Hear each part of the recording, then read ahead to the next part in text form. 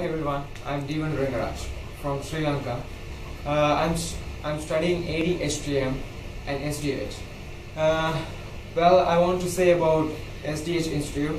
Uh, it's a great place to study, and uh, we know Singapore is the one of the best country for uh, management, uh, hospitality management studies, and um, I have chosen the correct place to study.